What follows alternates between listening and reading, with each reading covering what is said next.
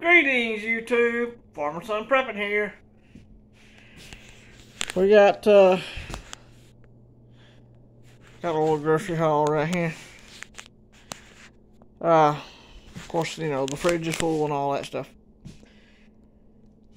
Got some uh, got a package of cups. It's not something I normally buy. Probably we use these in seed starting.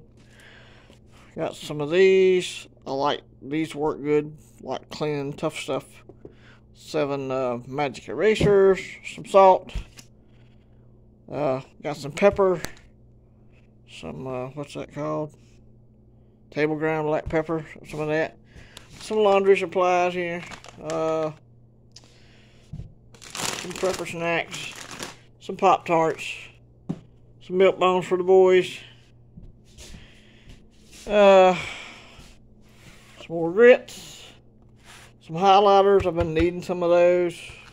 I like the good writing pens for writing out bills and stuff. So I'm not out, but I don't run out of good writing pens because I, I, like them. Uh, some more of that, some more of that. I got a whole flat of these diced potatoes. They're always sold out, so when I catch them, I get a whole flat. So, huh, got those. Uh, I got a big thing of Lipton tea, cause uh, not Lipton, Luzianne tea, because I didn't have none last time. Got my monthly prescriptions. Stocked up on some pain relievers here. I got two of the generic Aleve.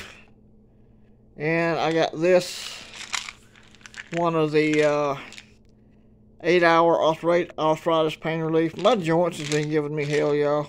Just hadn't been feeling good. Uh, so I got all that. I got the dog food I needed, praise God. There's a lot of dog food shortages going around, so. Uh, $419 later, we got everything we need to get through a month. Hopefully, get a little left over, you know, in case I need to go run out to get milk or something. We did get milk while we were out, so you don't ever know. I try to save back 30 or 40 bucks in case I need something, you know, run out of dog food or whatever. So that's it, y'all. God bless you is my prayer. This is Farmer Son Prepping. Have a good one.